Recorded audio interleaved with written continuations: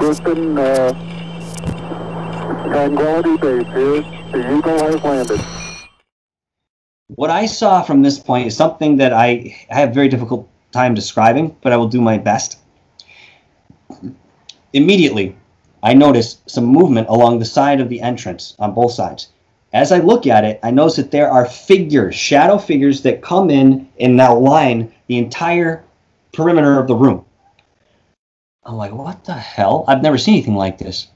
As I'm watching this happen, and this is with my physical eyes now, okay? This isn't my mind. Good evening, folks, and welcome to Alien Addict. Now, I want to say a massive, massive, massive thank you to you all. Uh, 5,000 subscribers hit. Um, people are sharing the videos, people are hitting the thumbs up. I want to say a huge thank you to the Reddit users as well because I've seen that my my shares, most of them are coming from Reddit, and I'm not even on Reddit. So I think I did make a Reddit account once. I'm going to revive it and uh, see what you guys are putting. But anyway, thank you so much. It means the world to me. I know it's been a while since the last one, but yeah, I've been working long hours and um, yeah, making time to do the edits arranging interviews. There's more interviews to come, by the way, uh, some very special ones on the way. Uh, but yeah, thank you so much, guys. 5,000 hit. Uh, the only way is up. And uh, yeah, keep sharing, people. And check the Patreon page out. Uh, 13 patrons now. Um, fine specimen of people on there as well. Beautiful people. Great little community. It's growing, and yes, it, it puts a little bit of money my way so it helps the channel out because the money for Patreon just is is just there to support the channel because I do have a day job. But um, yeah, the channel is growing, people. At some point, I will have my own little alien den, and you know, may, maybe I'll, you know, fly. Um, what's his name? Bob Lazar over and interview him in my garage with Corbell. Yeah, one can dream. But anyway, enjoy the show. This is Dark, Dark Hour Paranormal. That's capital D, capital H, all one word, paranormal. Then paranormal separate. Uh, but yeah, enjoy it. He's a fine specimen of a fellow, beautiful man, and uh, interesting. We do talk a little bit about ufology as well, so we don't leave that out of it. But um, I'm starting to delve a little bit into the paranormal. I think you got to if you're going to look at a the uh, over the other side of things, you know. Bob Bob Lazar in the garage, yeah. Michael, welcome to Alien Addict, my friend. It's good to have you, otherwise known as Dark Hour Paranormal. How are you on this fine evening? Or is it daytime doing, there? yeah, I was going to say, I'm doing quite well. The sun is shining. I'm watching my kids play on the beach right now. Ollie, thank you very much for having me on uh, your show. I have been watching your episodes, and you're fantastic at what you do. Uh, and it's an honor to be here, man. Thank you for having I me. I really appreciate that, my friend. I mean, the main reason, uh, and I've seen your name pop up on on lots of channels. People people know you, you know, and you've not been around for long. So I thought, who is this guy? Who is this Mike? I didn't know you as Michael, then I just knew you as Dark Hour Paranormal. So I'm typing in Dark Hour Paranormal, and it's all one word. It's Dark Hour, par- Dark Hour, then Paranormal. Yes, um, yes. You know, I'm just, I'm thinking this guy's he's doing some good stuff, but it's weird because recently I've started to delve a little bit more into the paranormal, which is why I wanted to get you on. So, can you tell us a bit about your channel, and uh, you know why why are you doing the channel in the first place?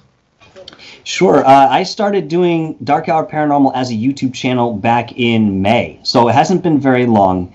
And uh, as you and I were discussing earlier, Ali, it's about timing. Uh, I've wanted to do this sort of thing for a very long time. I've worked in radio, uh, but never had the chance to really express the side of the paranormal uh, and everything that's un- encompassed underneath that umbrella.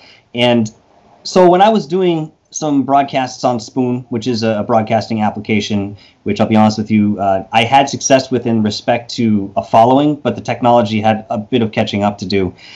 A friend of mine, Rick from Rick's Realm, had mentioned, well, I have a show on YouTube. I've been doing it for several, four, five, six months, and uh, it's a great time, man. You should try doing it. Bring your stuff in in that respect. So uh, after a little bit of hesitation and some gentle nudging, I finally looked into it and established Dark Hour Paranormal as a YouTube channel.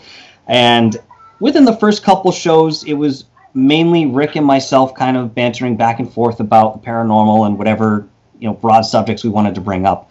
Uh, at the same time, we did have a couple people actually from uh, the UK call in and uh, be able to express some of their investigational findings and so forth. So it started there, and very quickly, within I think the third, possibly the fourth show, I realized that the trajectory the channel was taking was absolutely focused around interviews, and I really wanted to get to know other people's perspectives. Now, one of the, the broader visions I've had for Dark Hour Paranormal as a channel is that you know you and I will sit down and we can talk to some of these great guys from TTSA or MUFON. You know, I'm going to use uh, those two as an example of just big names. Okay, great guys might be a little bit uh, of a stretch, but that being said, I know they're good people that, in, in there. Yeah, no, I'm just saying what we're all thinking. It's okay. Um, that being said, I realize that it's important to interview those people, but it's also very important to interview people who aren't really out in the public eye or who have not had a chance to express themselves because of the experiences they've had or uh, the social uh, adversity they may face as a result of coming out. So the layman, the common person who's having these extraordinary experiences dealing with the paranormal, dealing with uh, you know astral topics, uh, dealing with ETs and so forth. I think their voice is just as important as you know somebody who is out in the public eye and has been known to do this stuff for a very long time. So that's what I wanted to bring to Dark Hour Paranormal, and that's that's the overall vision for the channel. I think. I find that really interesting, the, the, because you're going down the whole route of interviewing. Now, when I first started out, it was just me ranting and debunking and all sorts of nonsense, uh, which I still do a little bit of that, but I'm mainly doing a lot of interviews now. But how do you vet it? how do you vet the people that you're interviewing?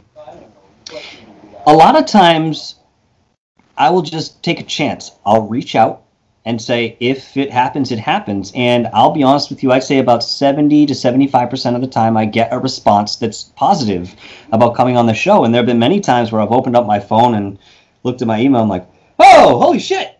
Okay they said yes, you know. So I mean, it would get me really excited and push me to reach out further. I've talked to um, representatives for Neale Donald Walsch. I've, I've reached out to Eckhart Tolle. Uh, you know, some of the bigger names, Drunvalo Melchizedek. Uh, you guys might recognize these names that have been around for a very long time. Um, if they come back, I mean, they have walls uh, to get through before you actually get to that person. If they come back, that's great. I have a feeling a lot of those kind of folks will probably pop up within a year or so, giving me the thumbs up or the thumbs down. Uh, but it's really just a matter of reaching out. And then, of course, I've had people on my show that have been in my past. Uh, there have been a couple women that I've brought on that I've had relationships when I was in my early 20s, but we were always spiritually inclined. And just again, on a whim, I just had this feeling like, reach out to this person. I'm like, man, I I don't even know where they are. Look on Facebook. All right, fine. Oh, there they are. Contact them. All right. Oh, well, what do I say?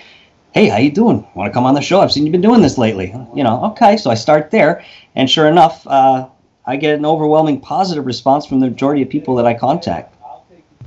So your channel's growing quite fast. You know, it's only been going a few months now. Um, so you, at some point, you're going to get like your email uh, is going to start and getting filled up. So, so I I take a risk. I, I know I do that when I interview somebody that just says they want to come on the show, they want to tell their story. Um, so have you have you taken any risks like that and just had somebody on that you don't know? No. Uh, I always have a good half hour to hour and a half to two hour conversation with the people before coming on with the exception of Michael Horn, who I corresponded through emails uh, for quite some months before we came on, and that was more of a dissemination of information and and things like that. You know, educating me on what he was doing, and I was checking out stuff and responding and so forth. Other than that, I'll always screen somebody before uh, inviting them on the show. I might approach them with the prospect of you know that being a possibility but i want to talk to you i want to get to know you first i want to see if you're a a fit for the show and b if if you're really you know who you say you are. Some of these people say, "Well, I'm a medium," or "I work with energy and I do it as a professional career." And then I start talking to them, and I'm like, "Well, yeah, maybe you do, but I don't feel you've reached the depth of what it really is, and maybe what it's really all about. I don't think you're." I don't. I don't. Let me put it this way you have to resonate with somebody too okay on a level that so you say okay i feel comfortable with this person presenting this particular information. And I'll never shut somebody out uh, if they're uh, proposing a different viewpoint. It's a matter of experience, I guess is what I want to say. Do you have the experience? What is that experience and how? What does it entail? Um, I want to see that human side of you. Yeah, you know what I'm saying though. When somebody sends an email to you, I've got and they've got this amazing story, but then mm. when you speak to them in person, you think, this guy was bullshitting me, but now now it's too late because I've opened well, Pandora's box. I'm now doing an interview. See, I, I I'm very careful with that. I'm very careful with that because you will you can get yourself into trouble in that way. And then what happens then? You're not doing a service to yourself or the show. You're not doing a service to the guests in the way they think they're being presented. And there's all this uncertainty surrounding it. So that's why I say, okay, listen, okay, so for example, somebody emails me, has this crazy story. I say, great. Let me talk to you either on the phone, let's talk through uh, Messenger or something like that, where we can sit and have a conversation as if maybe we were going through questions on the show and, and let me feel you out. Because if it gets to a point where I say, okay, this, this guy's bullshitting me, this isn't working, or it doesn't fall in line, you know, in, in one way or another, I say, hey, listen, thank you very much uh, for your time. I appreciate it. I will consider uh, reaching out to you. We'll see how this fits in the future. If that works, great. If not, man, listen, I appreciate you contacting me. We'll see what we can do later on and I'll leave it there, you know, because you don't want to get yourself caught in that situation where you start a show and you're like, oh god, this is this is gonna suck, man. Uh, God, what what can I do already to dock this up? You haven't even gone live yet.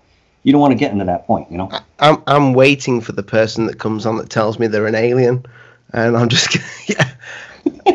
the show must go on, and that's what it will. That's what will happen. Absolutely. But that person might regret coming on. well, you know what? you're doing your job then. And if you listen to uh, you know Coast to Coast AM, which I started on in in the late '80s, um, there have been many times, even on Spaced Out Radio, there have been many guests where you know you could see that that Dave or you could hear that Art was really interested in what they were saying, but they're like, okay. That's interesting. You know, you can tell that there's there's something maybe not um, grounded about the guest or what they're saying, but yet it's something that they believe in. And so, my job as a host, as I believe it is most of our job, is to present the information as it is presented to us. Uh, yep. You will find my bias in there a little bit because of my experiences, and this is something I've outwardly expressed before. But by and large, I want to just present that information. I'll never judge anybody that comes on the show. You want to come over and tell me that you've done X, Y, and Z, and you've seen this planet, and you've been through this meditation. Great, that'll be on you, and that's what we're gonna know you for. You know what I mean? But again, you don't want to get yourself into a situation where you can tell that somebody just blowing smoke up your ass to get the attention, or you know, possibly even worse, to have a deleterious effect on what you're doing creatively. So, this brings me on to my next question. What brings you to the paranormal? What is what is triggering you to do this type of work? Because you could be doing anything. You could be, you know, you've got a great voice for radio, you've got a great voice for interviewing, but you could be doing anything. You could be talking about sports, you know, anything. you, you interviewing actors, but you're doing paranormal. There must be a reason behind this, and this is what I'm interested in. Well, thank you for that, number one. And number two, this is the uh, heavy hitting question, isn't it? Um, so myself, I got involved with this field in general when I was about 12 or 13. I was always aware of something more or outside the box, if you will, in terms of my life and what I was going through. As a kid, I, I had a difficult time academically. I was diagnosed with attention deficit disorder back when they called it that uh, when I was 11. And from that point on, you know, I was medicated with Ritalin, Dexedrine, uh, a couple other test you know drugs that they had. So I already had this this different perspective. I felt different than everybody else around me because there really wasn't anybody else in my school that was uh, undergoing this sort of treatment. And so I think that in that, and then being you know bullied and stuff, uh, you know, in, in grammar school and, and so forth, really kind of thickened my skin to perhaps having my own ideas and being able to stand up for those ideas. And once I started having thoughts of, uh, let's say, a spiritual nature, uh, my family was very supportive. Both my parents are spiritual individuals. My mother, I think, a little bit more so in certain respects. Uh, but I had that support, and though I felt different in respect that I was looking beyond and saying, well, what's the meaning of life at the age of 12? And, you know, sitting through an entire semester of science class where the teacher would just let me play around with objects I had in front of me because I was trying to disprove the existence of time instead of following the curriculum. You know, this is stuff that normal kids weren't doing in sixth, seventh, and eighth grade. So, you know, I garnered the attention back then is is sort of being interested in things nobody really understood.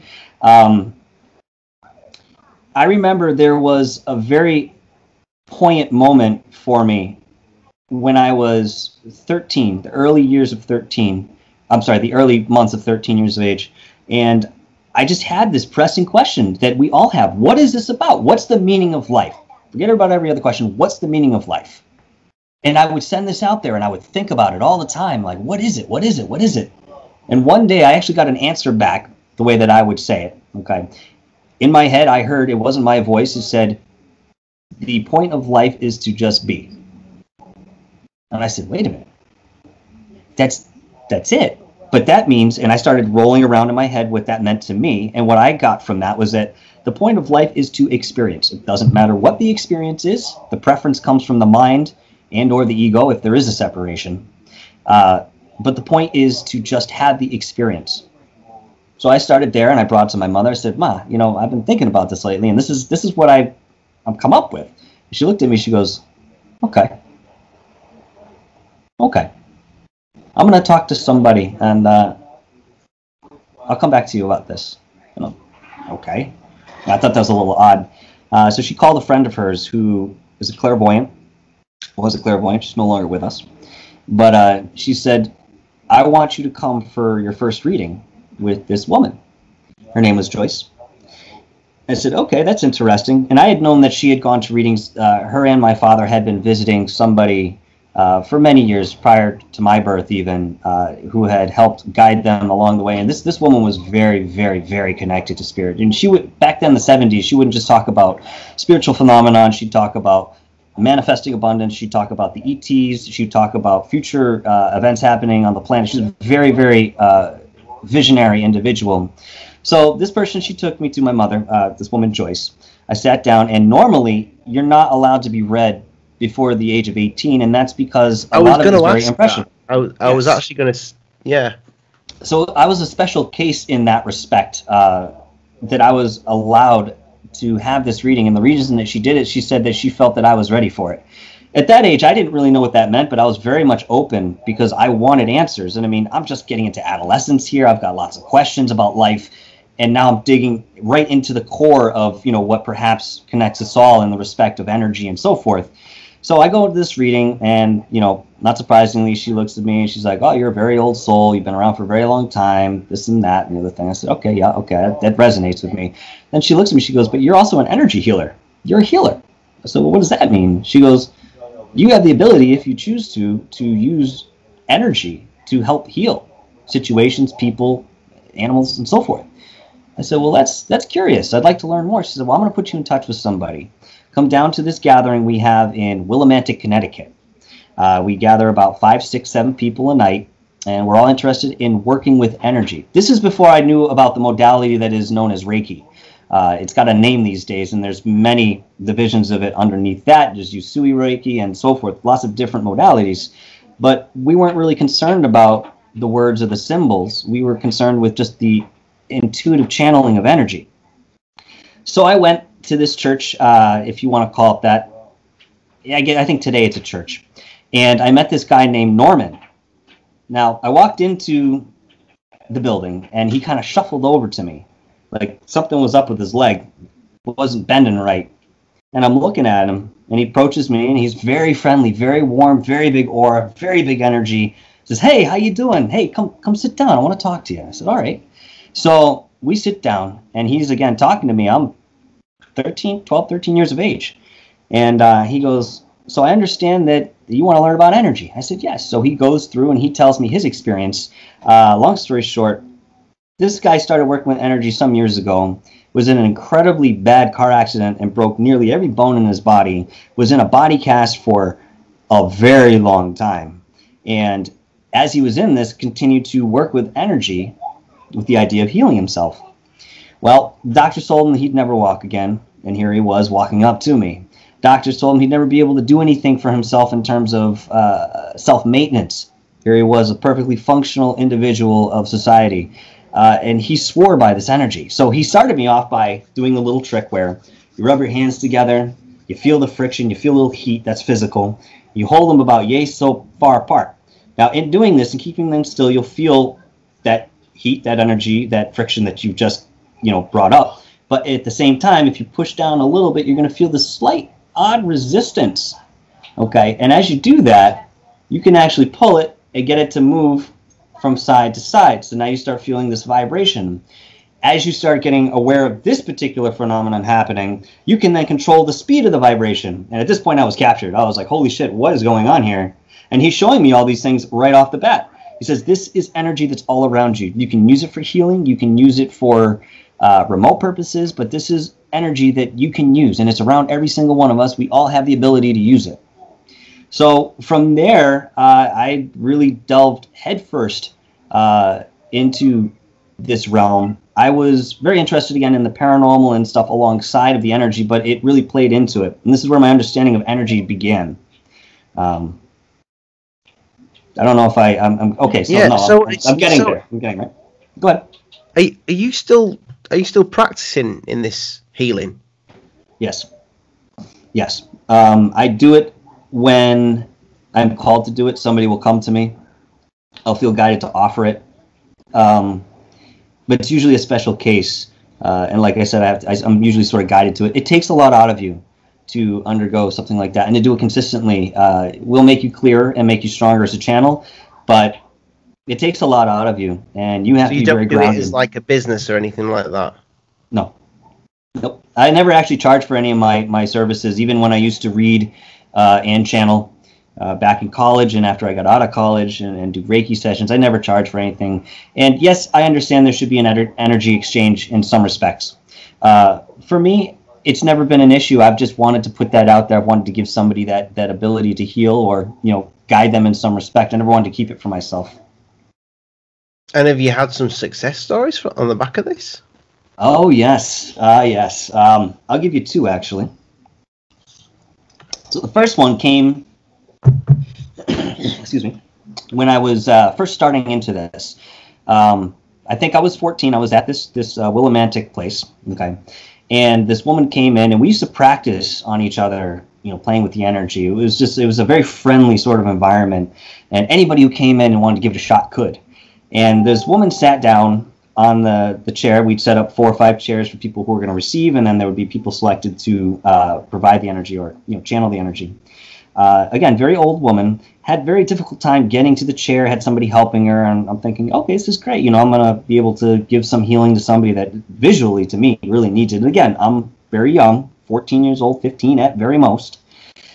And uh, so I stand behind her, and what we would do, says the person's head, we'd always start around the neck area. And it doesn't always have to be a contact thing. It absolutely doesn't have to be unless you're guided to. And if you're guided to, you need to seek permission before you do. And that's for many reasons, as you can very well imagine. So I started with her. And what happens when you get into this is that you kind of let yourself go. So I'm not thinking about um, pushing energy or where is the problem. I'm just, I'm going to do my own little meditation and let myself be guided. And you'll feel it and you'll move if you choose to in this respect. So I'm working again around her head, and all of a sudden, as I'm scanning the rest of her body, I'm, I'm immediately drawn to her right knee. Okay, and so I'm starting to just push the energy there, and the energy is just flowing, flowing. I can feel it coursing through me, and it's going through my hands. My hands are heating up. There's tingling everywhere, and I put my hands on her knee, and the second I do, I feel like the knee shifts and cracks and crumples underneath my hands. And I was kind of like, I did like one of these real quick, but didn't break concentration. It was just very odd because it literally felt like something had shifted and snapped and cracked. Like, the fuck? Okay. So continued the session, tried not to think too much about it, and continued out and finished off.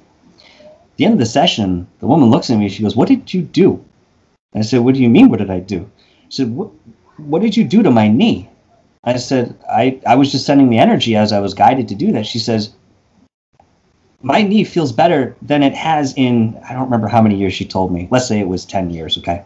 Said, Better than it's, it's felt in 10 years. I've had a lot of issues with this knee. I'm like, really? Well, that's interesting. I felt it crumpling, crackling, sort of, I don't know, maybe realigning. I don't know. And she said, Well, thank you very much. I, I feel fantastic. Uh, I came back the next week and this woman was walking on her own. Uh, all the pain that she had, had described in her knee was gone. Uh, structurally, she, she felt it was stronger. And to me, that's really interesting. So that's a very physical manifestation of what this can do. Now, what about the emotional side? So the story is kind of funny. Many years ago, I used to work for a burger joint, and I was uh, an assistant general manager. And I had a bunch of these guys working underneath me that were between 17 and 26, let's say. So I had a grill cook come up to me, very big hulking guy, dreadlocks, everything, kind of intimidating looking if you, if you know at first glance, but he's a sweetheart, real nice dude.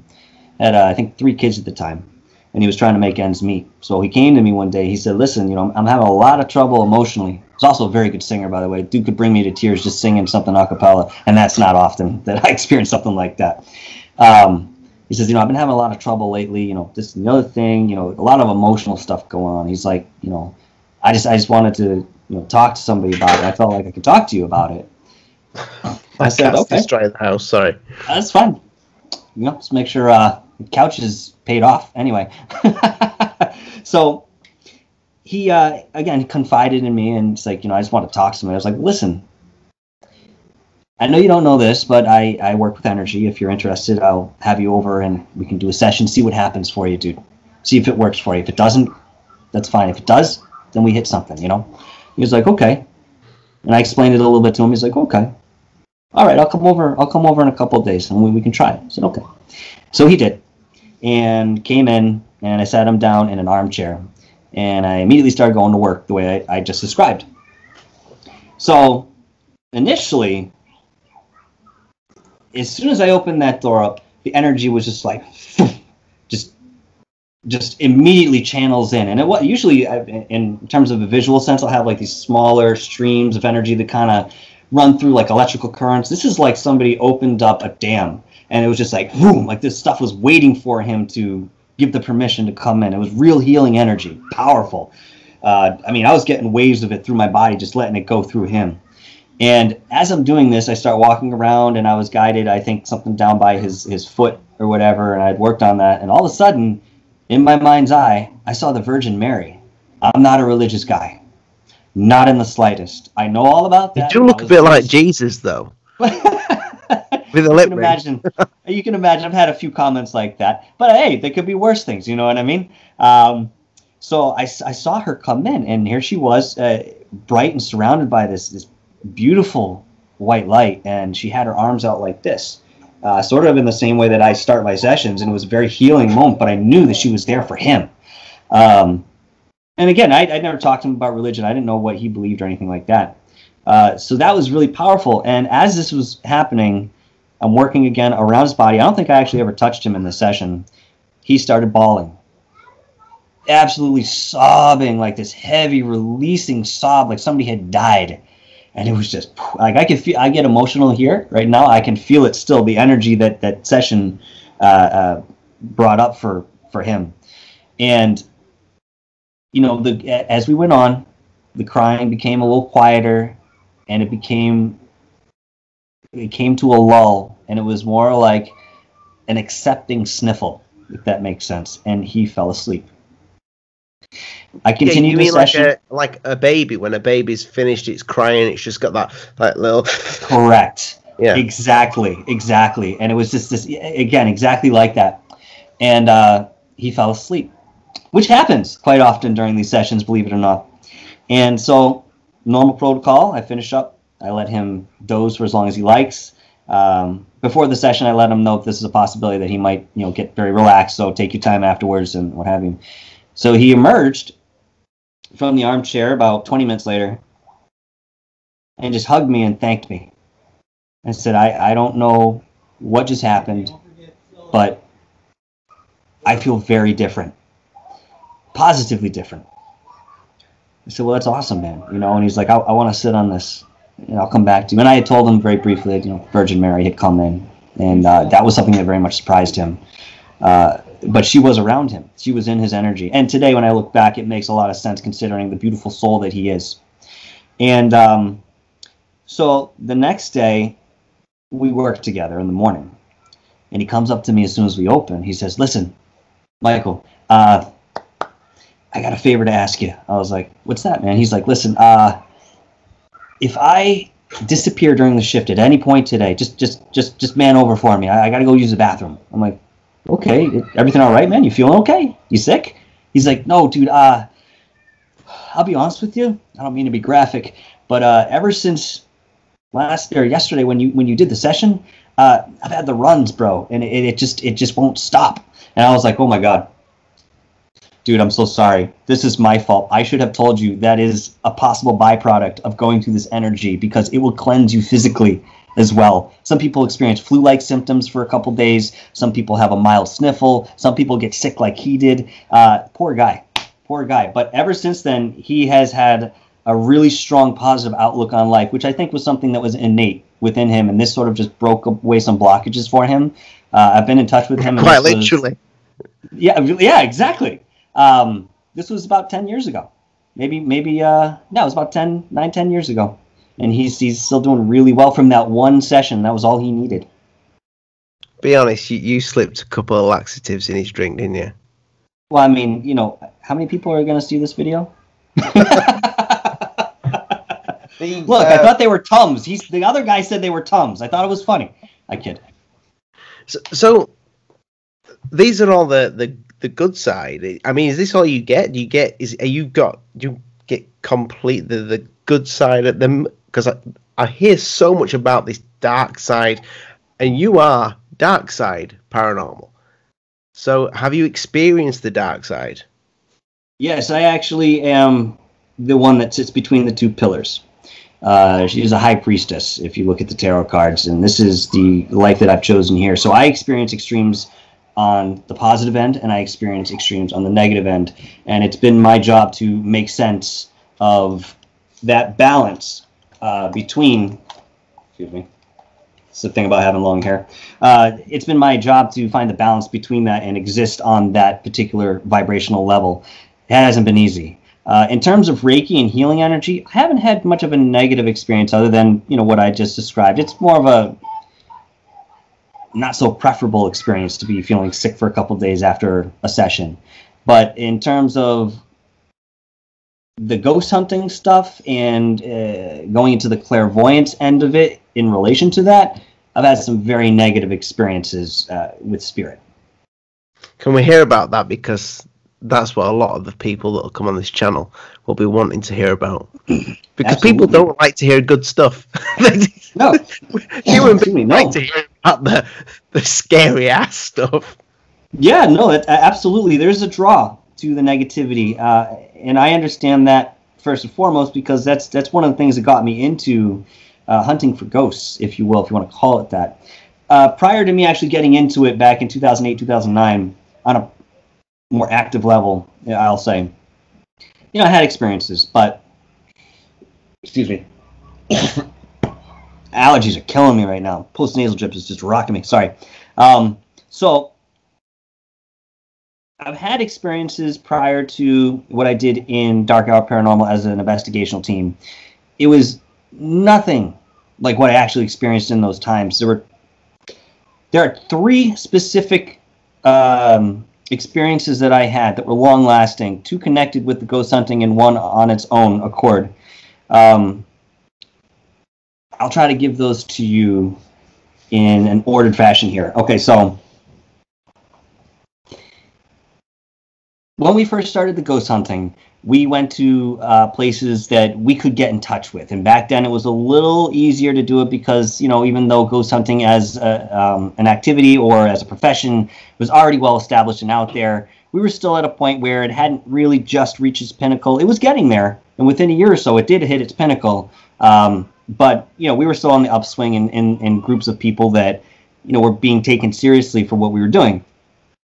And so, the first real tough experience we had uh, was at this place called Rutland Prison Camp, and this was in Rutland, Massachusetts. It's way in the middle of the woods, and the history of this place was that it was a work camp uh, in the earliest part of the century, earlier part of the century.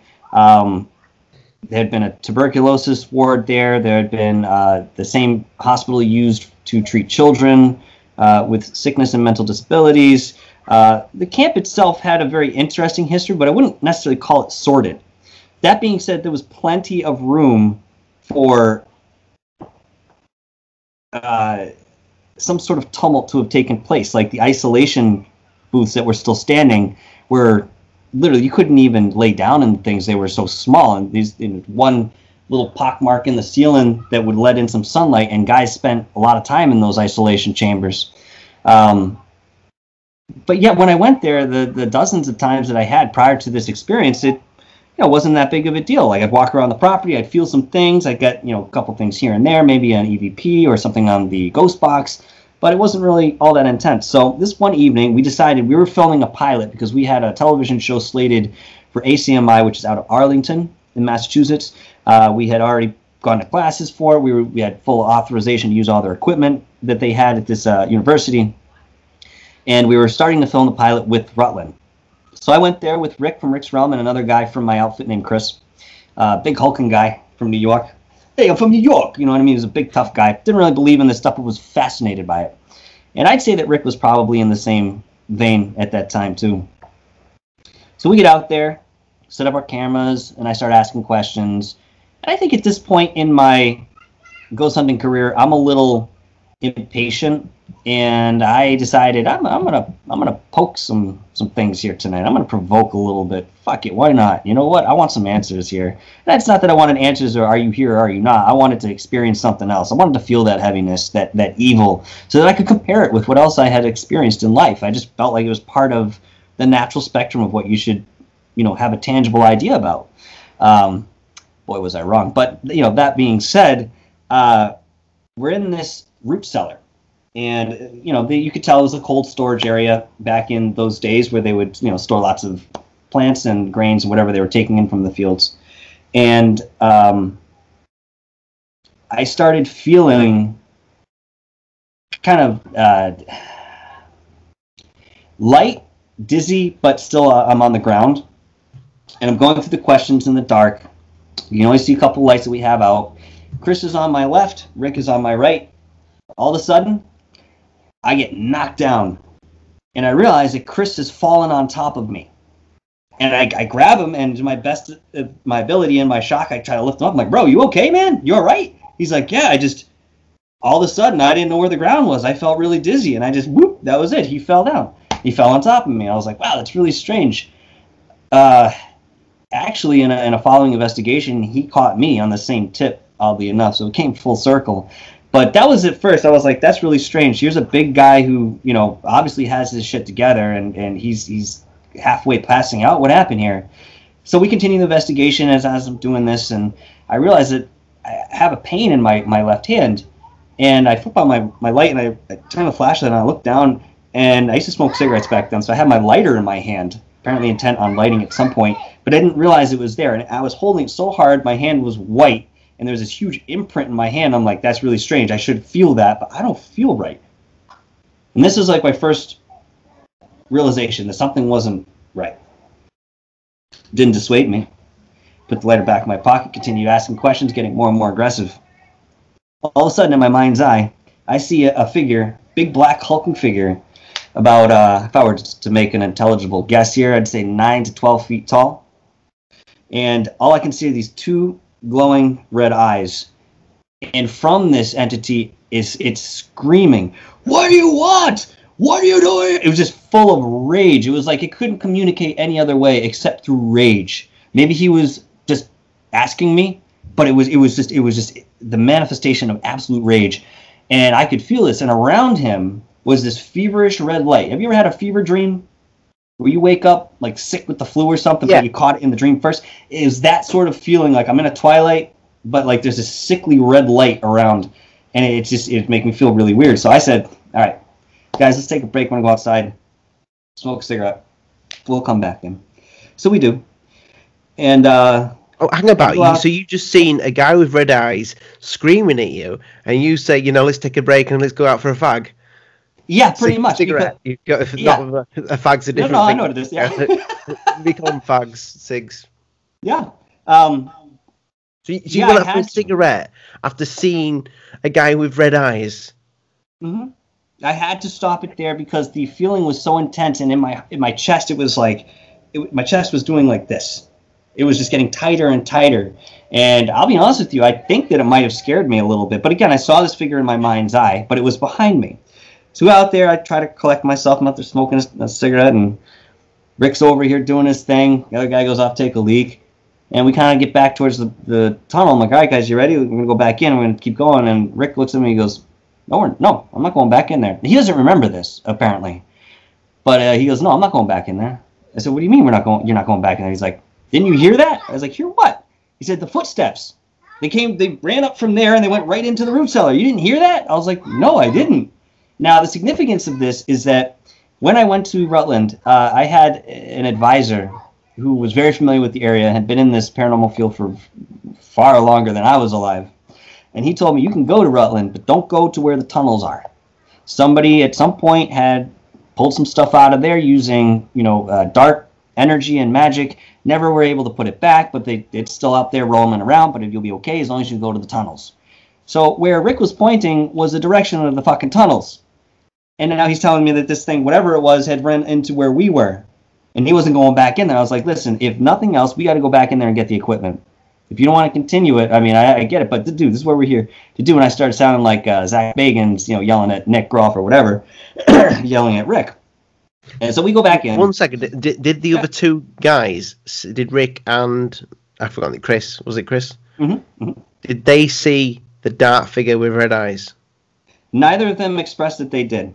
And I'm not surprised if they didn't, only because I'm, I'm very sensitive to this and I was already working with, uh, had already worked with spirit and channeling and, you know, I have, you know, people who pass on come to me and I'm, I'm able to recognize that. I mean, does it mean that they, they couldn't? No, it doesn't. But they tell me they But- didn't notice that. But Rick was spooked by something. Yes, he was. Sorry, Michael. Yes. Yeah, carry on. No, I'm just trying fine. to get it in my head. The Nope, feel free to jump in anytime, bro. Believe me, I can be uh, quite long-winded here. Um, that being said, so we go back inside, and I decide that we're gonna we're gonna keep doing this because I'm yelling at both of them now. I'm like, this is what we're here to do, guys. The fuck, come on, you know, don't don't be like this, guys. And uh, so we get back into it. Now, as soon as we do, the whole room just settles, and the air is incredibly still now the roof cellar itself has one entrance, and through this entrance there are some vines coming down, overgrowing, but you can see the city lights on the night sky. So anything coming in, you can see the the shadow or the silhouette, I should say, of, of that individual walking in. What I saw from this point is something that I, I have very difficult time describing, but I will do my best.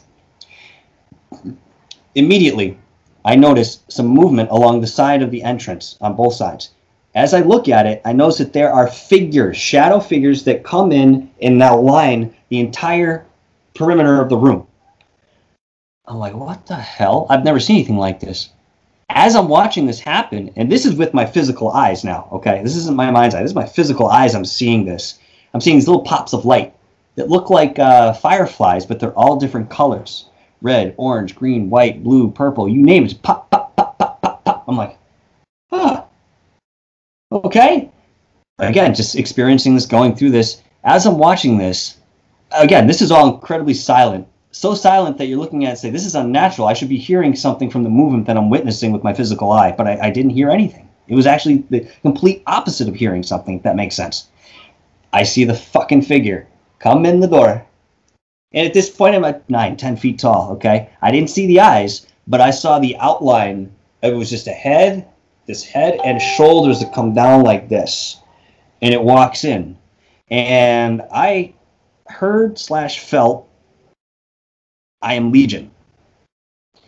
At that time, I had an idea what that meant, but I wasn't fully in tune that I am Legion is one of the more ancient organization of uh, you know negativity in terms of the, uh, that world.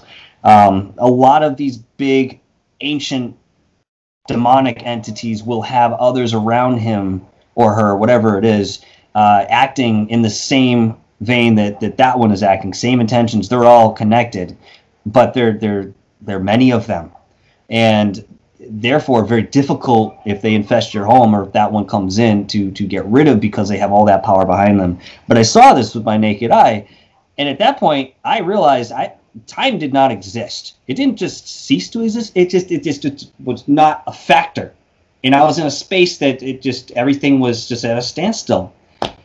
Well, I don't remember exactly how the investigation ended in the respect that I said, "Okay, guys, that's it, we're done." But there came a point where I said, "Okay, let's let's wrap this up." And it wasn't very long after we had gotten back in there and I had seen what I'd seen. Something didn't feel right. So we packed up. I got in Chris's car. We were riding together, and Rick was driving home. And before we got off the property, I turned to Chris. I was like, "Bro, I don't, I don't feel right." He goes, "Yeah, that was pretty crazy, man. I don't feel I feel a little weird too. I'm like, no, no, bro, I don't fucking feel right. Something's not right. And he didn't know what I was talking about. It was the first investigation he had been on with us.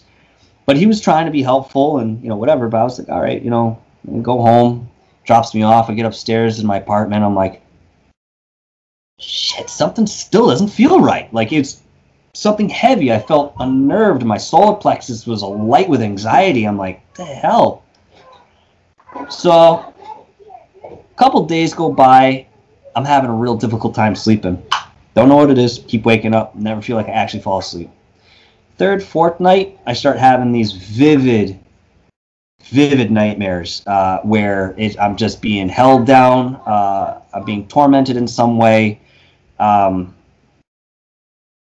I'm going through some sort of odd emotional pain while I'm, I'm dreaming. I don't know what it is. Even to this day, I can't put my finger on it, but it was very unsettling. And then the physical manifest, uh, manifestations started to begin, which gave me feelings of dread. Uh, my temper was incredibly short. That could be a result of not sleeping too. Uh, these en- entities will try to weaken you in any way that they can. And uh, it, let's see, it was with me for about three months three months, and it affected not only myself but other people around me too. Uh, and I ended up having to face it the same way that I asked for it to come. Because the biggest thing I realized at that point was when it came, and I realized it, and I could talk to it. I said, "You asked for me. I'm here." I said, "But I asked for you like last week when I was at the Rutland camp." He's like, "Time doesn't work like that with us. You call, we come when we come. What do you want?" And at that point, I'm like, well, I, I just want to know if you were there, man. You're there. All right. We're good. We're good. We're good, right? We're good. No, it's not that easy because anything requested on the other side is honored. You may not so, realize it, but it, it is so Where did, you, where did you say this to to the to the mirror or to? You know, I had to go into meditation. What situation were you in where you thought, you know what, I'm gonna try and talk to whatever it is that's bothering me, and how did that? Did you see something, or did you just hear something in your head? Uh, it was it was more like I realized I had to go into meditation, and again in my third eye, in my mind's eye, this thing was already there. I was already constantly trying to keep it away from my mind's eye because it would just kind of, yep, hey, I'm right here. Yep, I'm here. I'm Yep, I'm here. And I was again constantly trying to keep it away. So when I, I let that down for a minute and went whoop, right back around because it still had its purpose there because of me.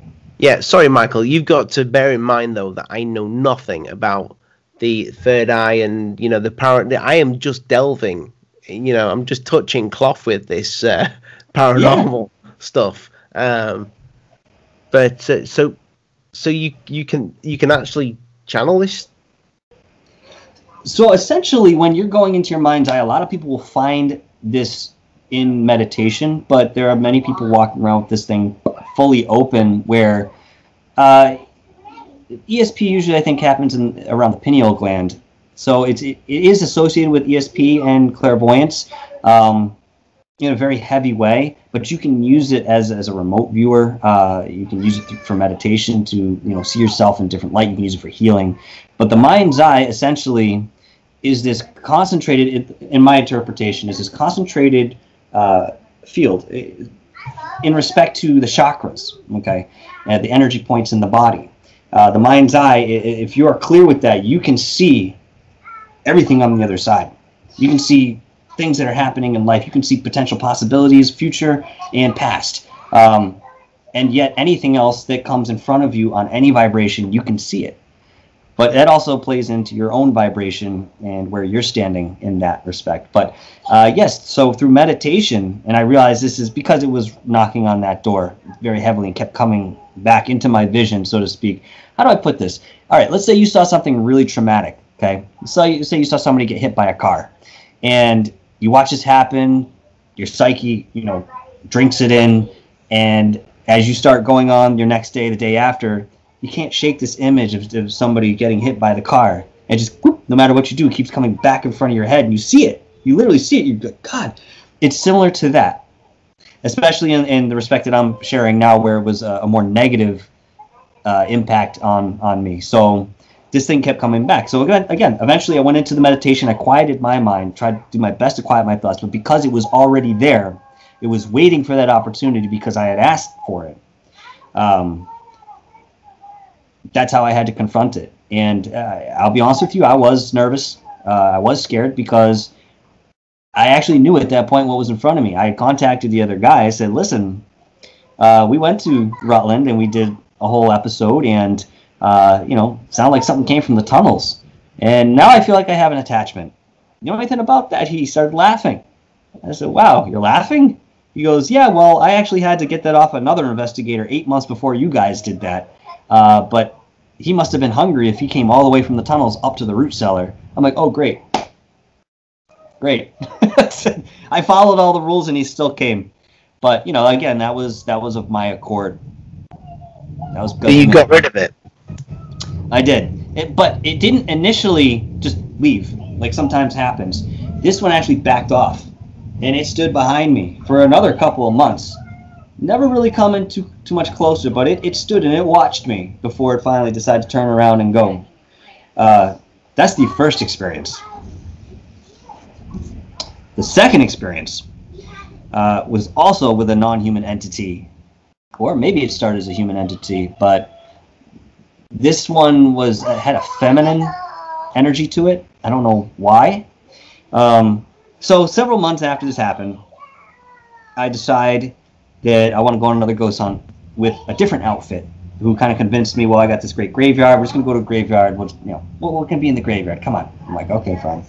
So we go out to a graveyard in Douglas, and we actually went out with like five or six people. Well, at the time, I didn't realize one of the girls that had come with us was somebody who had been possessed and had exorcisms earlier in life as a result of it. Now, that would have changed my mind to go out to something like this without some sort of control, and we, we I didn't know that. So I go out there with my guys, and like I said, three or four other people come. Um, and this graveyard is very old, and it, but it's pretty small. And you're walking around, but outside the rock wall that line it uh, is very, very, very dark. It's unnaturally dark. Even though it's pitch black outside, it seems darker out there. And as soon as I'm looking at this, one of my guys goes, "Hey, we need to go out there." I looked at him. I said, "Why do we need to go out there?" He goes, "Because there's something over there." I said, "Yeah, that's exactly the reason I'm not going over there." He says, "Yeah, but aren't we?" Supposed-? I would say, "Listen, let me break into this. You know, you know what I've gone through. Let me just ease into this. I'm not trying to find something else going to follow me home." So he says, "Okay, all right." So at this point, I have the camera out and I'm filming, and um, I'm filming the far side of the graveyard. And as I'm doing this, I'm starting to notice motion out of, the, out of my eye because I actually I don't have one eye closed. I have have both eyes open because it's dark anyway, and I want to be able to see what's going on while I'm looking through the lens too with the night vision. And so, excuse me, this is killing me, dude. Sorry. Um, I'm watching this this motion out of my left eye, and I'm like, what the fuck? So I kind of pull the camera away, and I notice what looks to be a pair of, of feet and legs kind of moving. And as soon as I focus on that, and I'm like, wait, oh, those are feet. It disappears and it goes into legs. I'm like, those are legs. And then as soon as I see that, it goes into the torso, and then the arms, and then the head, but nothing all at the same time. It's just bits and pieces I'm seeing. And as I'm realizing this, there's other ones moving around and bustling like it's a whole town. And yet it's incredibly silent, just like the other time. Devoid of noise. Not just silent, devoid of any kind of vibration like that. And as soon as I realize this, I look back into the camera and I see this bit of what looks like uh, little bubbles of light. I can't tell you, maybe 10 feet away from the camera. All of a sudden, whoosh, like this. They come right at me, go through me. At this point, I fell back. My buddy Chris was there this time, as I mentioned. He caught me, pushed me back up. He goes, You okay? And what the experience felt like is if you fall back into a pool of water and you let yourself sink and you see the bubbles floating up to the surface while you sink down, that's what this energy looked like as it came out of me. So it went in, back out. And I was like, wow, what the hell? I, I, I couldn't wrap my mind. I had to sit down, uh, take some breaths, and eventually got back up, continued the investigation, in which uh, some of the kids decided to do sort of like a little circle around one of the graves they believed was the last witch buried in Massachusetts. Last woman who was accused uh, of being a witch. Yes, exactly. I don't know how uh, accurate that is. I'll be honest with you. I haven't been back to that place since, so I haven't been able to research it. So I reluctantly joined hands to do this, knowing it was a dumb idea. But I did anyway. So we all get ready to leave, and we start walking down the path. And one of the kids says, "Who doesn't, you know, one of the regular guys who never comes, it's never there. He's like, I don't feel good. And somebody else is like, yeah, I don't feel right either. And we all kind of look at each other because we were all thinking the same thing. Something's following us. So we turn around again. We're like, you got to stay here. You know, white light surrounds us. Blah blah blah. Can't come with us. And uh, we had to do like a little a little session there, if you will, to kind of cleansing session. So we all get in our cars and we go. I'm like, okay. This was back in 2010, I think. Go home, felt odd, but not like time before. And uh, so the next day I wake up, I have a podcast to do, and I'm actually going to cover that show or the uh, investigation on the show that we did uh, the day prior. So I do, and it ends around 11:30, 12:30 at night.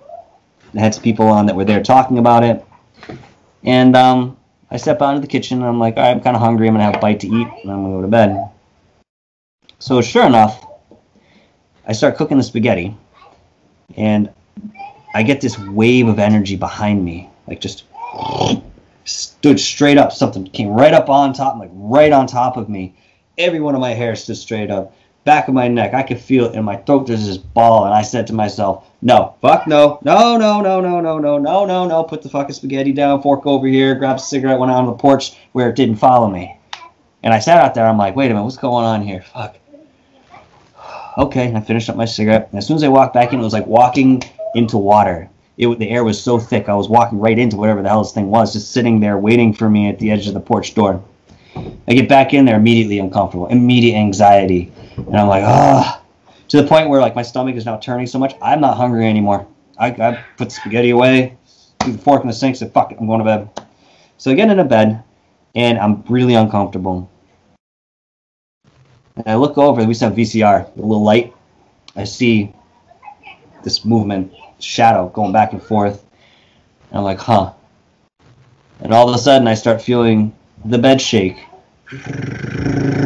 Like this. And I'm like, what the fuck? And I'm thinking, well, it's going to be waking my girlfriend up at the time. You know, she's sleeping right next to me. And I said, all right, I'm going to. I'm just gonna kind of ignore it, see if it goes away. It was like vibrating. Then, uh, as I turn over, one by one,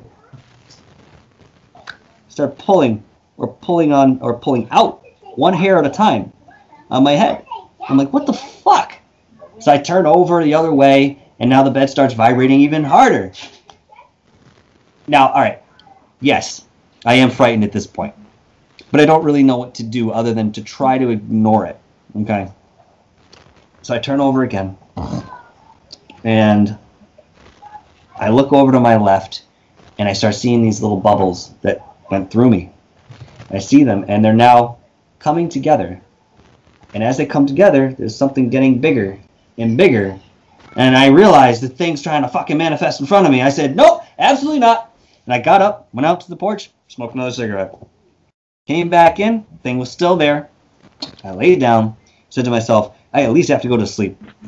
Uh, I, I can't let this keep me up.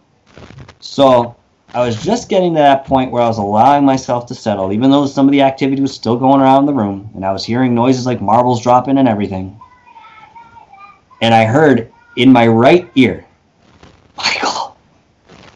Everybody at that point had known me as Quincy. I think my girlfriend at the time knew me as Michael, and that was it. Okay, and she was fast asleep. Nobody else in that state knew who, what my regular name was, my real name was, other than my employers who weren't whispering my name at 3:30 in the morning next to my bed. You know, that was the last fucking straw for me, dude. Uh, I actually got up and didn't sleep at all that night, and from that point on, my health started to deteriorate.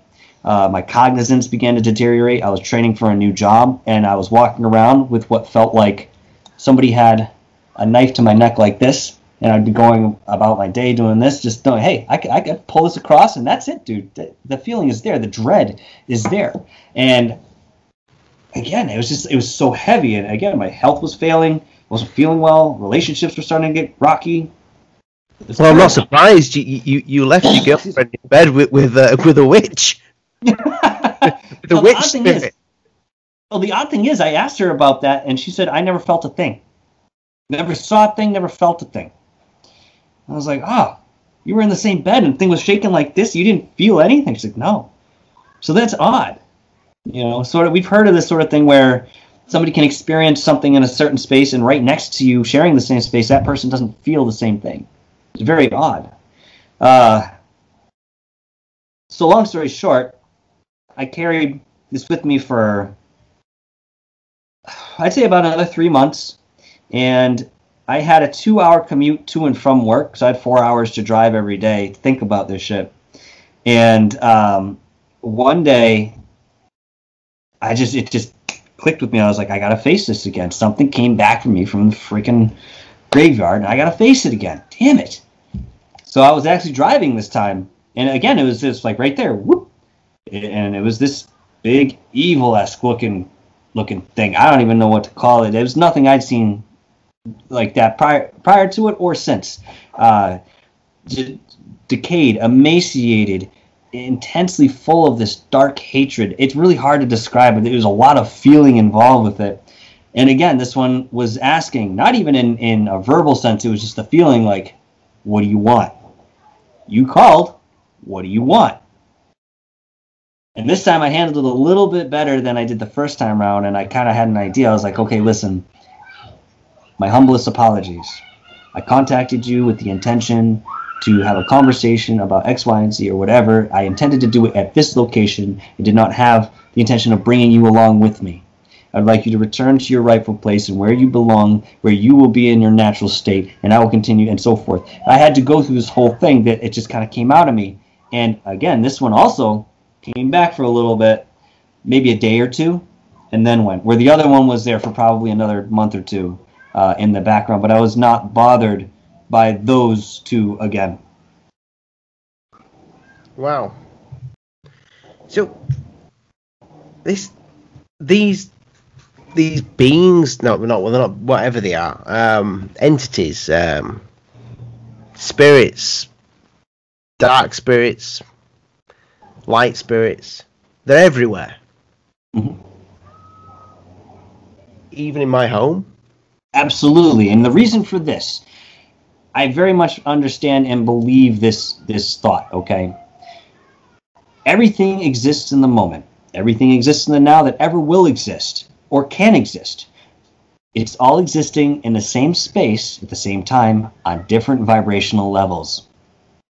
So that makes sense, okay? If you can imagine that in a respect that every single one of these vibrational levels offers a different experience of being and yet they all coincide with each other. Now, the thing that separates us from these other dimensional uh, places, if you will, is our awareness of them, our awareness of ourselves and what our capabilities are in terms of perception.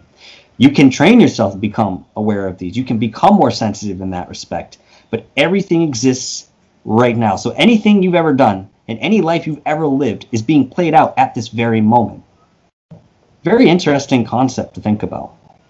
That it's all happening now, and you can influence that uh, as a result of it all happening right now. So you could change your future. You could change your past. You could change a past life. For example, some people think deja vu is uh, a future self saying, "Hey, listen, I tried that, and, and it gave you this result, and this is how it made you feel. Why don't you try something different?" You know what I mean?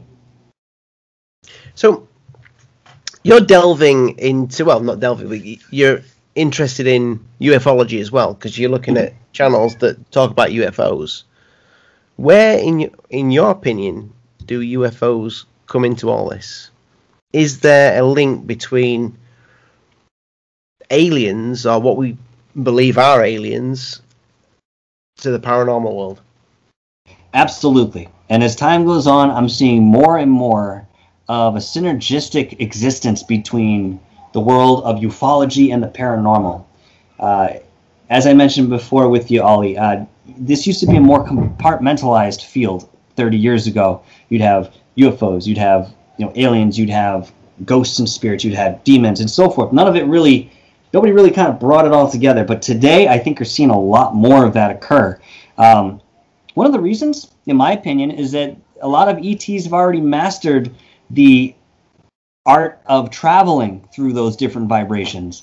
And even shapeshifters, uh, Native American or other indigenous cultures, they have this knowledge of magic to be able to shapeshift, but it has to do with vibration and, uh, of course, then coinciding with dimensional vibration. Um, so if you're able to understand that, so for example, if I was able to, let's say that my hand and everything around me uh, vibrates at X, okay, as a variable if I were to, well, that being said, can't put my hand through the bottle because it vibrates at an overall frequency of X as, does my hand. Okay, again, simplifying this. If I was able to make um, an electromagnetic field of sort, or some sort of field that with inside this bubble, my hand now uh, uh, vibrates at X plus one or X minus one. It's now existing in the same space. You may not see it. You may see it. Either way, I'll be able to go through uh, uh matter. I'll yep. be able to do that. So, I mean, that's the simplest way that I try to break it down when, when people ask these that, that question. Uh, but this is the I think aliens. Sorry. Go on. Sorry. What were you going to say? because I think aliens and extraterrestrials have been using these interdimensional uh, spaces as travel routes, or they exist in that space. That answers my question because the question I have is, you do do you think they're aliens? Oh God, yes. Uh, to me, it's not a thought. Because some people say that you know they are not aliens; they are demons. I think there's a little confusion because some of these ETs that we come into contact with are not benevolent. Uh, at this point, I would not say the majority is like that. I'd say the majority are benevolent, but because they have an interdimensional component to them, they can visit you in the same respect and they can do uh, their nefarious work as the same way as perhaps uh, a non-human entity or a demon would. So basically, they tap, tapped into the technology that spirits use. So is that kind of what you're saying? Well, I believe extraterrestrials as a whole, if you want to look at it in this way, yes, they're technologically advanced, but they're also incredibly spiritually advanced. Uh, what direction they've taken that is really up to them. Uh, whether they're using it for you know a good purpose or a bad purpose, so to say, is, is really dependent on the, the species and what their aim was, you know, at, at, the beginning. But that being said, they're they're not only involved in a technological sense, which is what a lot of people focus on, uh, but they're very emotionally and spiritually involved as well. Yeah, I read an article. Um, difficultly because I'm dyslexic, but I did read an article long time ago, and it was talking about, which it was probably bullshit, but it was talking about one uh, an alien that they captured at Area 51 that mm-hmm. revealed something about the fact that it wasn't scared of death because it it knew that it was going on to something else.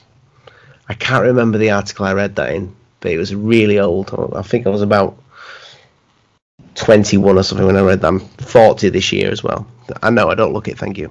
Um, but yeah, yeah, it was. Um, I that kind of even though I thought this is probably crap that I'm reading, I thought mm.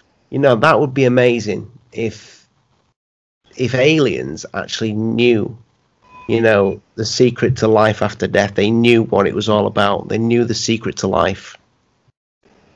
It's my understanding that they, they very much do. They have better uh, tactile sense on that than we do. And I believe that the concept of death, the way that we realize it, is more of a human construct. I know that might be a little strange to, to, some people out there, but hear me out with this. Okay, if you get to a certain point of evolution where you realize that we are all one, there is no separation from the energy from which you came from, uh, and this individualized experience is, is literally a divorce from that illusionary divorce from that energy just to be able to look back and reflect upon yourself. You know, if you have that knowledge and you're now living that knowledge, you're going to realize that, of course, if nothing else, yeah, there's other realms of existence. Yes, there's other, uh, you know, ways of life that can be lived. Um, I mean, some people argue with you that a rock has consciousness because it's associated with the earth and it carries that vibration. I mean, there's a lot to look into in that respect. And if, if life itself is infinite, the, the possibility of creation is infinite, then yeah, why would you be afraid of transitioning from one to the other? I'll be honest with you, I'm not afraid of death either. You know what scares the shit out of me? The prospect of suffering to get to the point of passing over. That's what scares the fuck out of me, dude. Not the fact that we're gonna cross over and maybe do something else. Yeah. It's it's suffering. You know what I mean? But I think death is a, is a concept in this respect. It's more geared towards uh, a human perspective than it is something globally shared as a fear. I'm not globally. I'm sorry, universally shared as a fear. Yeah, because I've always, you know, you hear about uh, disclosure, and you know, people people won't be able to handle disclosure, and I hmm. always wonder if if that would be if it would have like a a, a religious um, effect where you know people's beliefs would be just shattered. You know, it, it, maybe they'll they may find out that you know it is all just science and there's nothing after death. There is nothing spiritual about this. But the more and more, and I was telling you this before um, we actually started the interview, the more and more I've delved into the subject of UFOs, uh, extraterrestrials, I keep finding myself coming back to the subject of the paranormal, you know, and the spiritual level. I wouldn't class myself as spiritual at all, but I only know what I feel. You know, does that make sense? It does make sense, and that goes in line with you know your personal path and what you've chosen to do here, and the agreements that you've made to give you the experiences that you've decided you wanted to have. Um, you can always stray outside of that. You know, that's the beautiful thing about being in this playground. It, a lot of it what we forget about, but sometimes innately do, is is have the play aspect of it. So when you talk about going into the field and, and doing paranormal stuff, there was an element of play. Oh, we're going out on an adventure. You know what I mean? But you know, there's another side that is very dangerous and yet needs to be respected. In terms of the ET phenomenon and you know spirituality, again, they to me they go hand in hand. And something that we mentioned uh, before the show, and this has actually been brought to my attention more recently with uh, John's interview that you had, where he has had contact or alleged contact with ETs, uh, maybe even an abductee. Um, either way, he's experienced some really heavy paranormal events that, again, when you talk to people who are associated with uh, abductions or have had relations with ETs in any way, they find this complete fluctuation of energy going on around them in the paranormal sense, and they may have never have been involved or interested in the paranormal in the first place. But there's that element too, and I'm not sure why exactly, but it's there. Yeah, I think I think John's is more paranormal. I think he maybe had, I think he had an interaction, probably with, maybe he was a abducted. Who knows? You know, I think what mm-hmm. happened to him was I don't think it was a dream. I've spoke to him a few times about it. You know, he's he's sworn blind that he wasn't drunk. You know, yep. He's something went on, and he did see grey figures. He saw the figures that everybody else reports. Now, whether these figures are the aliens or there's something to do, something more paranormal, I do not know. But I would say John's story he may not even think this right now, but I think his story is more paranormal than Alien. It may be. It may very well be Ollie, and that's sort of the interesting thing that we're kind of looking at as we're moving forward with his story. Uh, he's actually shifted a little bit away from the ETs. And in my own thoughts, uh, I have. All right, so yes, I agree with what he's uh, been going through, and I believe that he believes he's gone through that. Um, him capturing the physical evidence of certain things is, is a, a new beginning for him, and that's really going to open things up for him in a positive way. I know it is. Um, but prior to that, maybe that one brush with the ETs is all he really needed. And again, maybe just being in the presence of something like that will open something inside of you and you'll be more perceptive of those more subtle energies around you. He talks about shadow figures too.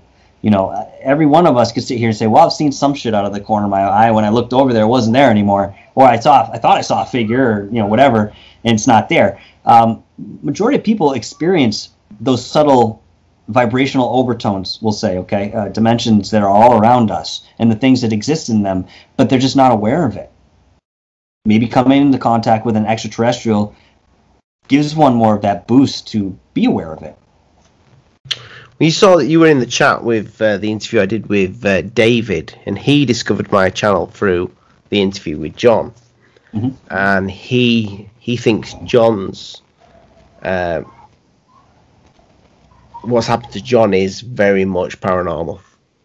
Now mm. he's he's as you saw in the interview, he's he's researched, he's paid to go see people like Travis Walton. You know, he spent time with um, umpteen different people and to try and find out where this subject of ufology fits within the paranormal world.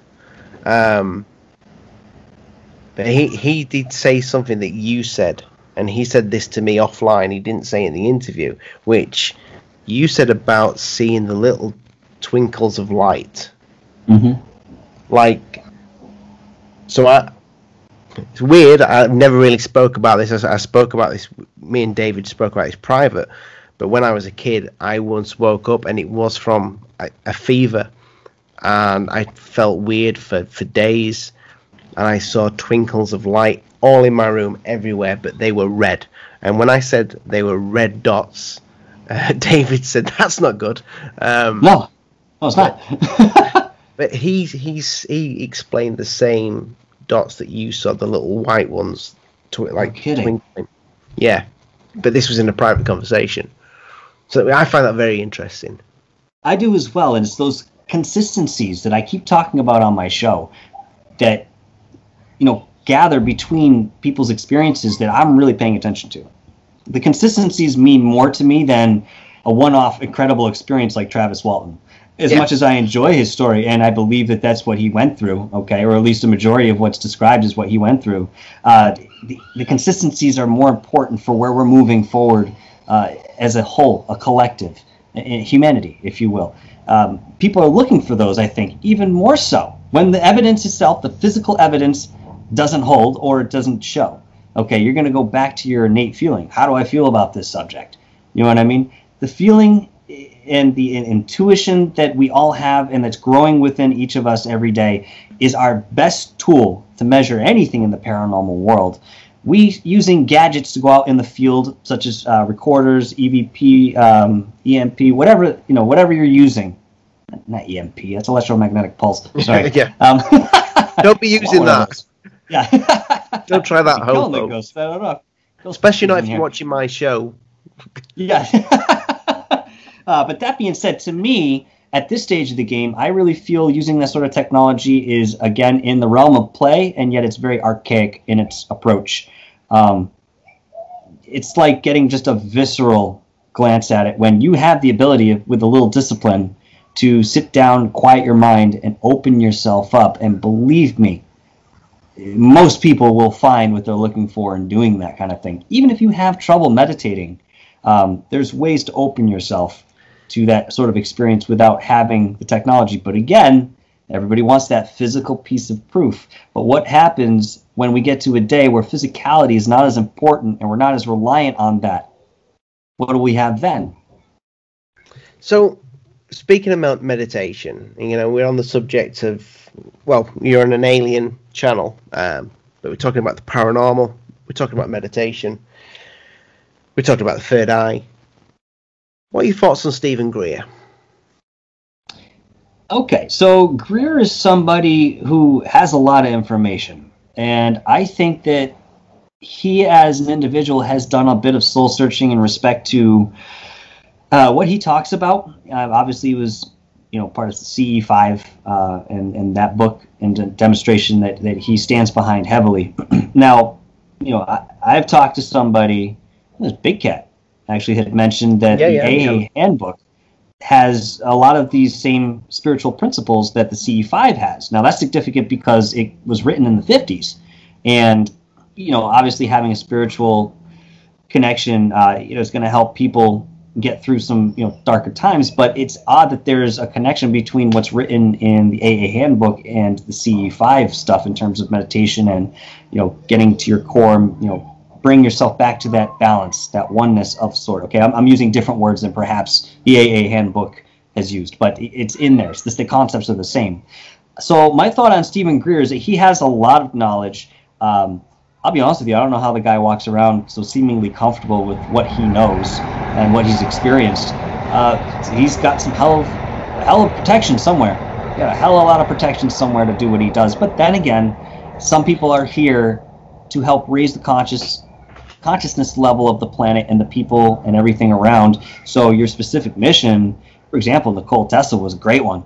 Okay, but he did it through technology, and unfortunately, he didn't get to see that, and we're still struggling with that now. But we know the extent of his inventions and what he was able to do, and, and the significance of that. You know, in my opinion, he came here to do just that.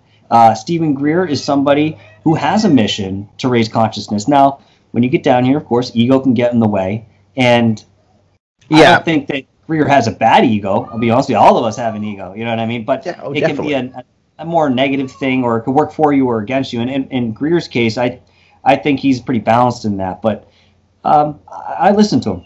I listen to what he has to say. Yeah, I, I give him a lot of shit because I like to take the the piss a little bit out of him.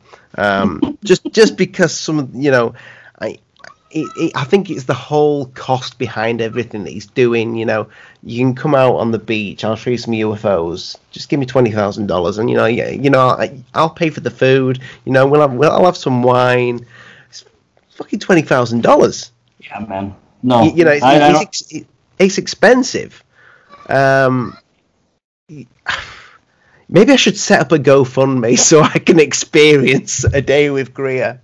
Listen, I'll tell you what. For twenty thousand dollars, I'll put you through something that made you feel like you were in another planet. You know what I mean? It'll cost you about five hundred bucks. Now, here's the here's the point. As I mentioned earlier, uh, energy exchanges are important, but you need to make it fucking fair, dude. You can't be charging. I mean, what was her name? Uh, it brought Usui Reiki to um, the United States from Hawaii. She was charging an astronomical, astronomical amount of money for uh, these Reiki attunements. And, and for what, dude? This is something we all should know, okay? Again, it takes money and time to set up a public event. Uh, let's say it costs you $10,000 to have, you know, 150 people at this event. You charge each of those people what it would cost, you know, dividing that $10,000 up, okay? And then maybe another half on top of that. You'll make the money back and you'll have a few extra bucks put towards the next event, eat, feed your family.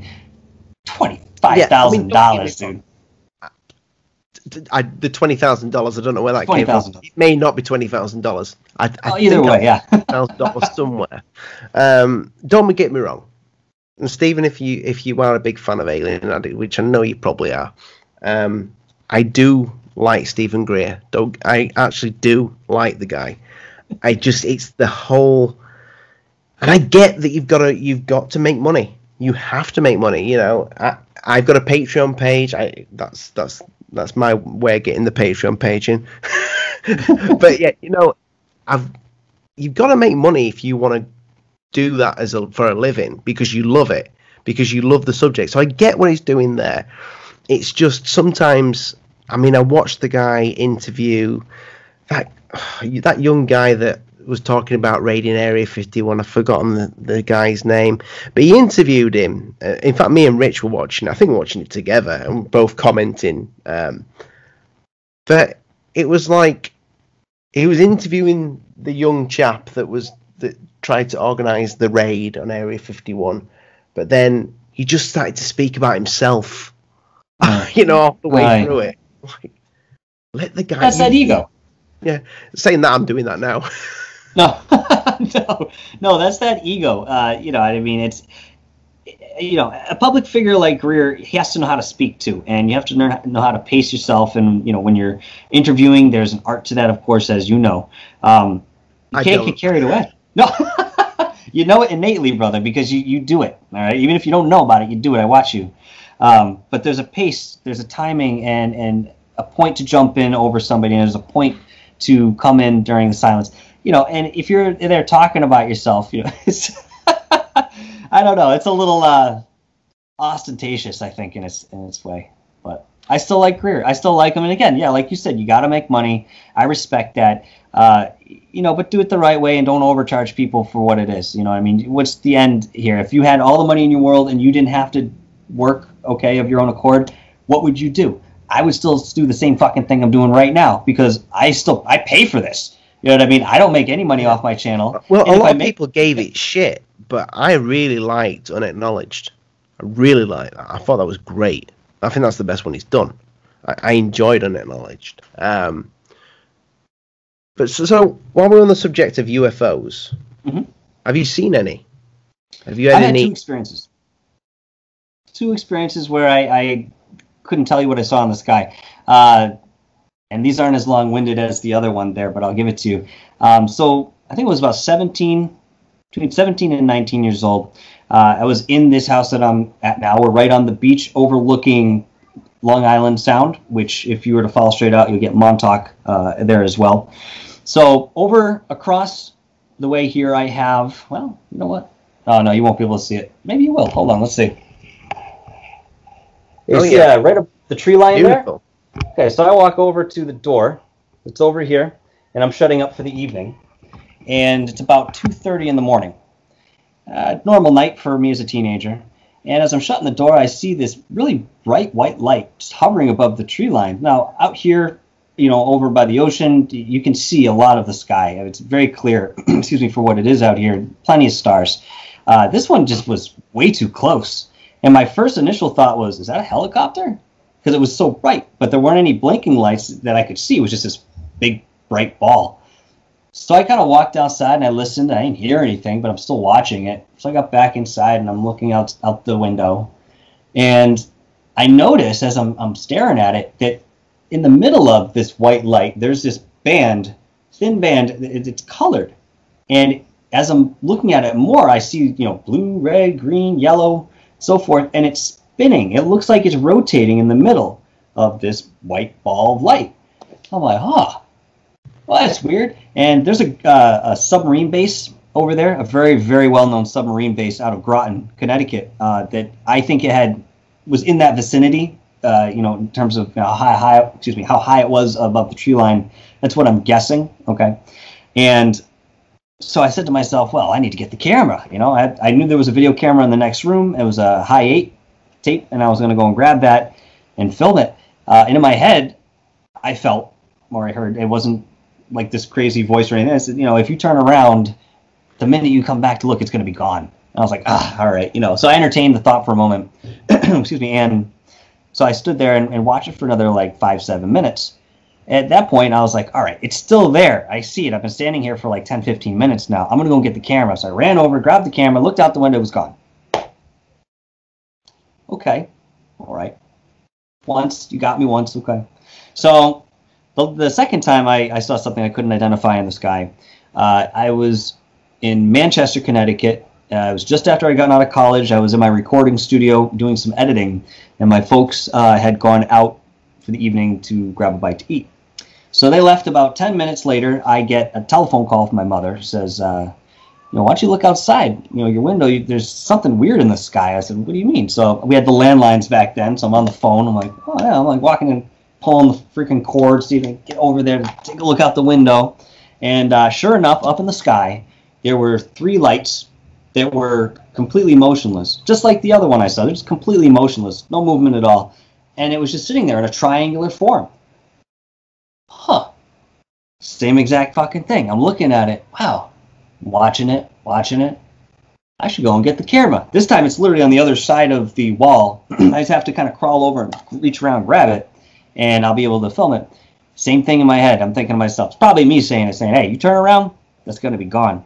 So I sat and watched it. Again, same amount of time, about 10, 15 minutes. I'm standing there looking up at the sky, watching this anomaly. Never seen anything in, in the sky before or after, just like that. Okay. Finally, I make a decision. I'm going to get that camera. So I quickly crawl around. Within five seconds, I grab it, I turn around, it's gone. But how did that happen? I literally, three lights, right? How did that happen? Twice. Twice.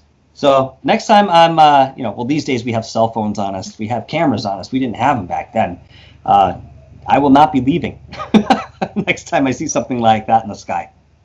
Yeah, but they know we've got cameras. Yeah, they do. They sure should do. you, you know, and I always, I always think if they want to be seen, you know, they'll they'll let you see them. hmm The minute they they they know, ah, that's enough. They'll do whatever they do to disappear. I honestly, I. Go ahead. That no, that, that's the thing. I actually do think that these they know when you're watching them. I would agree with you 100%. They're aware of the fact that you're going to watch them before you even decide you're going to watch them. Uh, you know, I, if these beings are telepathic in nature, okay, they're not using vocal expression and moving airwaves to create communication. They're doing it on a telepathic level. They're they're they're light years ahead of what we're doing right now uh, in terms of that esoteric progression. Um, they've evolved. Yeah. I almost think that it could be, and I have this kind of like uh, in my head. This is why I imagine. Well, well, it's nowhere else. It's not going to be in my balls. Um, but I, I got this this feeling that it's almost like when you see them, it sends. They receive like maybe a, a signal. So it's not. Mhm. They don't know you're there, but if you see them, they get a they they they they they would get a signal almost like you know like a, a satellite signal or whatever but they they get the signal from us to say we've been seen Mhm. we need to piss off right now we need to get out of here or we'll actually stick around for a little bit and see see what this guy does see if he gets his camera you know it's very possible. It's very possible, Ollie. I'll never rule anything out until you know shown otherwise. Um, you know, so you know, in other words, you think maybe they, you know, we could be much as an experiment for them as they are for us in, in, a, in respect. quite possibly yeah Yeah, quite sure. possibly. Why not, man? Yeah. Why not? So we've been going for about an hour and 40, but before we Okay. get going, because I, I definitely would like to get you back on again sometime, more because than happy. I'm delving a little bit more into this paranormal world. When I know more, I feel a bit more confident. Get somebody like yourself on. It might be, I'd like to get possibly some a few guys on together, maybe a couple of paranormal guys with a couple of just hard hitting science UFO guys that you know don't kind of it would be interesting to have the debate, you know, with Yes. the two sides. I think that'd be quite in with me with me just in the middle, just going like that. You know, it's coordinating, coordinating. that would be awesome. tell everybody where, where where they can find you, um, what your mission is, what your goal is to get out of what you're doing. So I'll start off by saying uh, my mission, my goal here in doing what I'm doing is to bring about awareness uh, in an educated and grounded and intellectual sense, as well as intuitive, to help people be informed about the paranormal world, extraterrestrials, and the realization that our consciousness is rising and that this is something that is offered to every single one of us at this time if we so choose to have that. Uh, my mission is to bring this in the most unbiased way, but sprinkle it with entertainment and comedy at the same time because laughter really is the best medicine. I'll, I'll be honest with you. It's uh, it's a beautiful thing. Now, you guys can find me over at YouTube on uh, Dark Hour Paranormal. As Ollie mentioned, it is Dark Hour itself is one word. Paranormal is its secondary. Uh, if you put the space in there, it's you know it won't find me. Apparently, I, I just No, realized within the last week. Yeah. Uh, so I'll work on I'm that. getting the algorithms. Oh yeah, thank you. Uh, thank you, Ollie. I appreciate that. But yes, Dark Hour Paranormal on YouTube. You can reach me at uh, Dark Hour P on Twitter. Uh, I also have Instagram as well as uh, Dark Hour Paranormal, and that's basically to kind of just let people know what's going on with the show and the broadcasts. But yes, you can also email me at quincypelkyellen at gmail.com or darkhourparanormallive Hour Paranormal Live at gmail.com, whatever you like. Also, you'll be getting. Um, I'm going to call him my little project. Then, but it's not my little project. He just told me his, his story, and it's kind of, it's kind of, it, it's, it, John is getting about now. Um, Yeah. So John's going to come on your show. Yes, he is. He should be on in the middle of September, along with uh, I have another really great guest coming up, uh, Elisa Medhus from Channeling Eric, where she channels her uh, her deceased son, and she's been doing this for many years with different mediums. And we're actually going to do a session on the show, which is new for Dark Hour Paranormal, in terms of actually having a real channeling session. And I'll be, I'm, I'm really excited to be a part of that because. Um, she picked some very clear individuals to represent the other side, and her son comes through with incredible consistencies time and time again. And they talk about every fucking thing you can imagine. Nothing, nothing is taboo when it comes to uh, asking questions to Eric. So, but yes, John will be on in mid-September. As I've mentioned, he's been talking to you, Rich, and myself, showing us a lot of his evidence. I actually have a video to watch uh, after the show with you here that I promised him I would. And yeah, uh, you to so you got well. the same thing. Yeah. So I'm. Um. I don't know if it's ta- now's the time to. Yeah. I, I'm sure John will be fine with it. I'm. I'm doing a vlog, a John vlog, uh, which I will be editing. So basically, John's going to be he's filming his life over the next three months, and I'm going to put it together, and then John. I'm going to help him get his channel up and running, so then he can carry it on with it on on his own. That's awesome because I know that's something he really wants to do, and he's feeling very motivated to go this path, and he feels like he's being pushed into something you know better with what he's doing now. So I appreciate you helping him, dude. I really Yeah, do. he's a different man from when he. If you, I mean, if you watch the interview, well, uh, well, you've watched the interview, but if you if you watch my interview and then you go watch him on uh, Rich Giordano's Goof on Radio, or just Goof on now. um, and yeah, then you watch him on your show when he comes on. I'm I'm sure people will see that the guy is a is a like a different guy. and you know, day. he's got a, he's got a little bit more confidence about it. Now he's starting to venture Yes. more into it and trying to find answers. Yes, he is. He's changing very rapidly, uh, and I'll let him kind of explain that transformation. You know, in, a- in a public forum. I won't. I won't say his words because it, it's just incredible what he's been doing uh, personally along this journey. And all it took was for him to finally say yes, to make a decision to, without him even realizing it, stop living in fear over the events that he was experiencing, whatever they were uh, and start looking at this in a more positive light and talking about it, releasing that energy. And you gave him that first chance, dude, and for that I appreciate you. Well, I had I had to ask him twice. I know. I Yeah, know because he said no. He said he didn't want to come. The first time he said I don't want to come on, and then he, he, he thought maybe he wanted to blurt out. And then he said I said he said I actually no, it's fine. I'd rather it, you know it. I'll, I'll come on. Uh, just don't put my picture in the thumbnail. Um, no, but I don't think your mum's gonna watch Alien Addict. You know? yeah, you know. I thought of that too. Yeah, that's But funny. Now he's kind of like he's he's delving in the idea of maybe t- telling people close to him. and doing just- it of his own accord. Yeah, he's, I mean, he's just told his best friend. So That's amazing. That's I love watching this guy open up, man. It's actually I'm I'm really I don't like to use the word blessed, but I think you guys know what I mean. I'm very blessed to be able to watch him blossom into what he's becoming. It's so positive, man. It's so yeah, positive. He, did say in a, in a message. He said between it. He says between um, Michael um, and Rich and myself, it's just three people that he trusts in this. Yeah. So, and I think it's good that he's got like my side that kind of, you know, I don't know where I'm going with it. You know, I'm just kind of like an, in between guy that is just curious about the subject. There's yourself with the paranormal. I know Rich has delved with the paranormal quite a bit in his past. Um, but also he he's very much into the UFO stuff.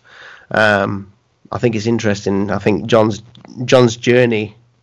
I think it's just begun it's just begun and it's so i'm so excited for the dude. Uh, i'll be honest with you because he's really diving head first into this but you you hit the nail on the head saying that there is this nice balance between the three of us rich you know again he has a little bit of the paranormal but he's very ufo oriented and he's very good with analysis. Uh, then there's yourself who has extensive experience interviewing. I don't know about you you know in terms of your personal life or experiences yet but there's a possibility that you've had experiences with that. I'm, I'm sure that there's a reason that you were you know guided to work with him yeah, there's there's there's stuff I'll speak to you about offline about that, but there's yeah. stuff in, in my past that's that's make makes me intrigued about this subject. But yeah, uh, Michael, um, Dark Hour Paranormal, thank you so much for coming on the channel, and we'll get you on again.